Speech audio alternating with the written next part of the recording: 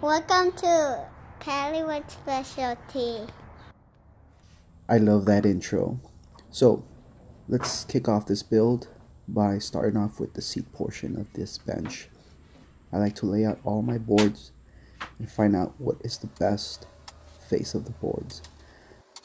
Now, I'll be using some biscuits to help me with the glue up and of course the alignment.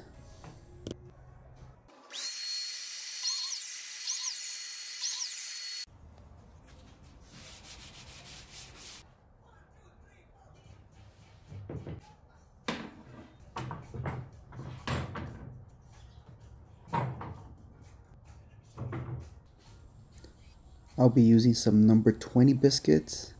And frankly the biscuits don't add much strength to the joint.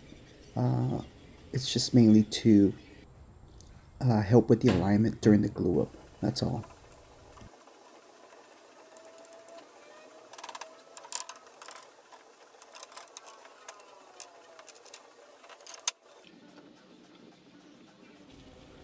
like to wipe off the excess glue before I attach the additional clamps. That way it's just easier to remove all the glue before it dries. Up next, I'm going to be cutting down the 2x6s for the seat portion frame and it's nice to have sharp edges for alignment purposes so I'm knocking off all the rounded over edges. And here I'm cutting down all the frame pieces down to their final dimension.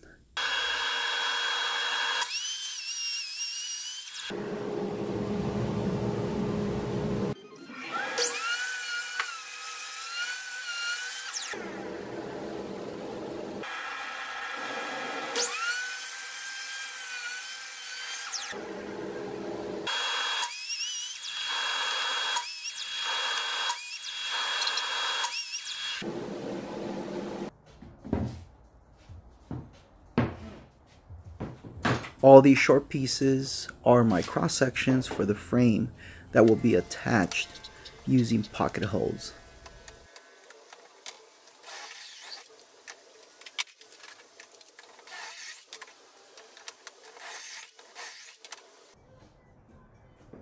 Now I'm going to dry fit all my pieces to make sure they align nicely.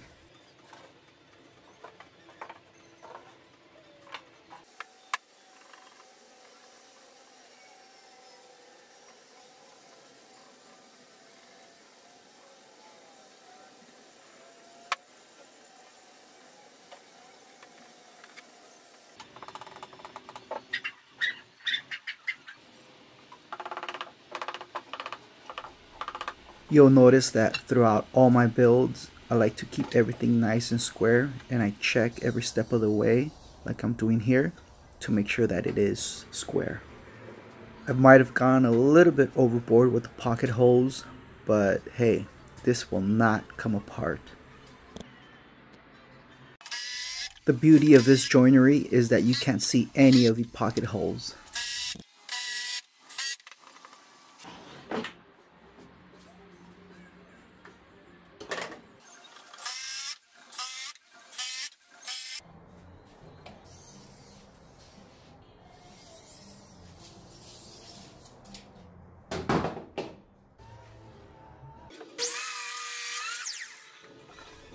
I'll also be making the legs, which will have a tapered edge to them, as you'll see shortly.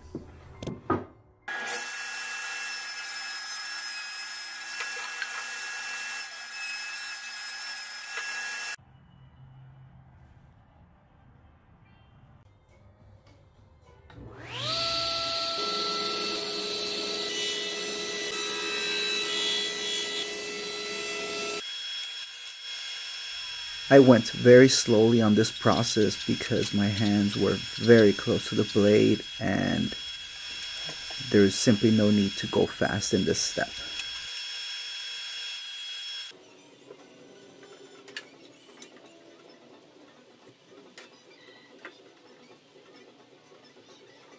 The backrest will also have a slight angle for comfort.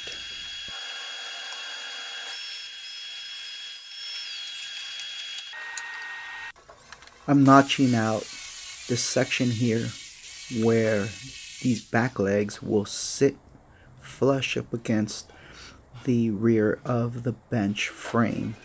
Now the seat legs and the backrest are made from one piece of 2x6 I believe and here it is just being dry fitted and it was a perfect fit for all four legs and seat backrests. Now here I'm just cutting down a piece that'll serve as the backrest.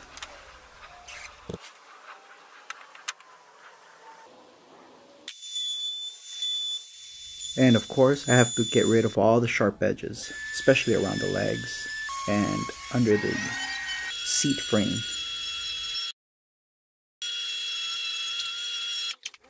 Time to attach the legs and glue them up. But first, I was wondering why my dogs were gaining weight. Well, let's count how many times my daughter feeds the dogs treats.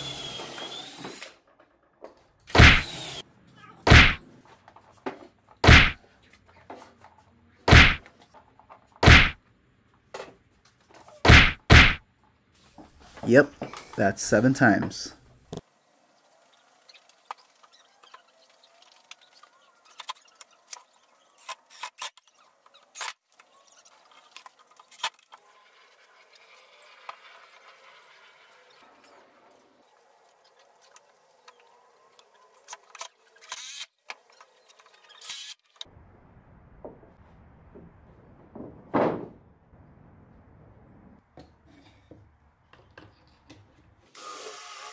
This will be the seat back frame or outline if you will.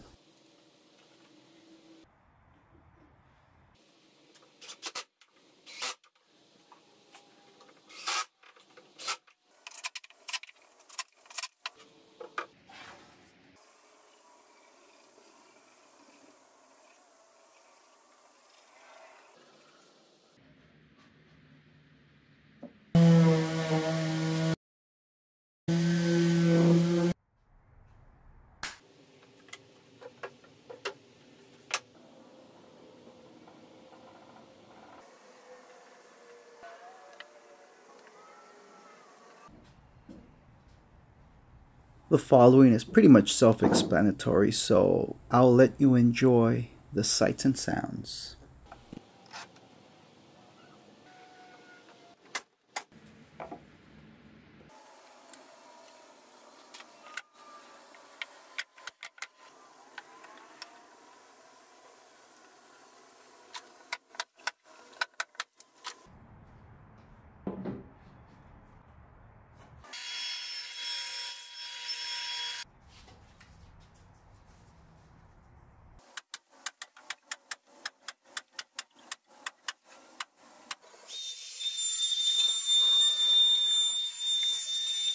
Caliwood specialty. Thanks for watching, everybody.